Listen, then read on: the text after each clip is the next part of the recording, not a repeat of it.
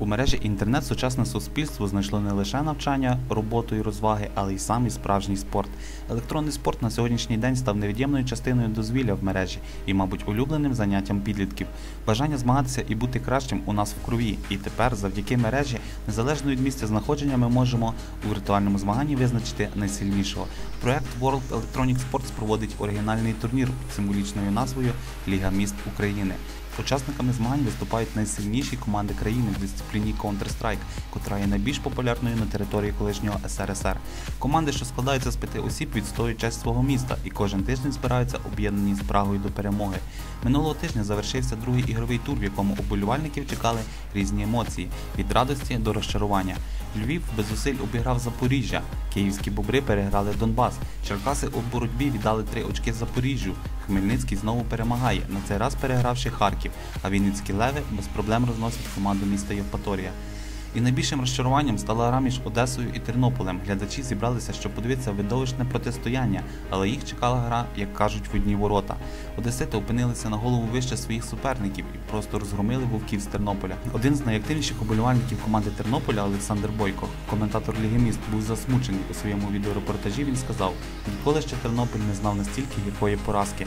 Другий матч, який варто відзначити, це протистояння найсильнішого колективу з Києва, не випадково названого головним фаворитом ліги і збірної Луганську. Розповідаючи про цей матч, варто відзначити, що київляни є ветеранами електронного спорту, де кожен гравець відіграв багато турнірів як національного, так і європейського рівня. Ці хлопці настільки впевнені в своїй перемозі, що це відчуття проєктується на суперника, заважаючи тому грати в свою звичну гру.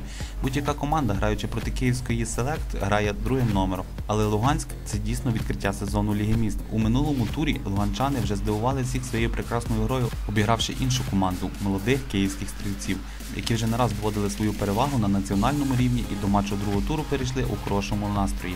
З початком гри глядачеві було незрозуміло, хто ж у цій зустрічі все-таки фаворит. Виходила вперед то одна команда, то інша. І все ж під кінець першої гри Київ зумів переломити суперника і вирвати перемогу. Після перерви все кардинально змінилось. Луганськ, як говориться, зібрався, повністю заволодів нитками гри і розгромив суперника. Після матчу Олександр Гравець Київської селект сказав, що причина поразки криється в невірній тактиці на матч, яку вибрав капітан. Ми очікували акуратної і зваженої гри від Луганську, але вони грали агресивно, говорить він. Підсумок зустрічі нічия, яка додає командам по одному очку в загальному заліку. Центральним матчем туру стала гра між Дніпропетровськом і Києвом, який представлений в лізі аж трьома команд. Дніпряни мають солідний досвід і згуртований колектив. А київська команда, програвши в першому турі Луганську, готова була реабілітуватися перед своїми фанатами. Матч обіцяв бути цікавим, і глядачі, які включили пряму трансляцію, явно про це не пошкодували. Настільки напруженого протистояння в лізі міст ще не було. Перша карта прийшла в важкій боротьбі, де Дніпропетровськ показав неймовірну зіграність і з будь-якої важкої ситуації виходив переможцем. Використовуючи складні тактичні ходи і несподівані переміщення по карті, хлопці ставили свого опонента в безвихідь, то заставали зненацька. Тим не менш, очко за першу карту дісталося київлянам. За рахунок високого індивідуального рівня вони змогли переламати хід гри і вирвати перемогу з рук суперника.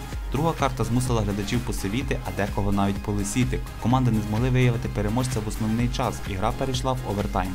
Варто віддати належне Дніпропетровську. В цій зустрічі вони заслужили мінімум одне очко нічию.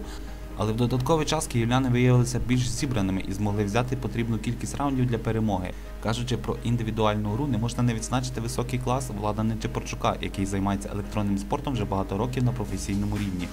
Багато в чому саме завдяки його тактично грамотним діям Київ зумів здобути бажані три очки.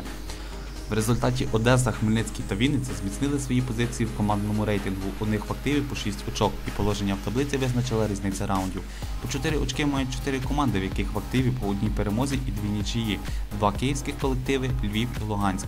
Закриває верхню половину таблиці Дніпропетровська команда, яка з трьома очками має кращу різницю виграних і програних раундів. У нижній частині таблиці розташувалися дві запорізькі команди, київський колектив і харків'яни.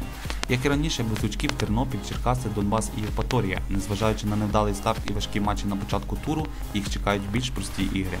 Третій тур підготував нові цікаві протистояння, незабутні емоції і, звичайно ж, яскраві перемоги. Команди вже знайшли свою гру і жадають її продемонструвати на національній першості, довести глядачеві, що не випадково потрапили в список кращих команд країни. Матчі третього туру на ваших екранах. Центральний матч туру відбудеться між командами Вінниці та Києва. Не пропустіть.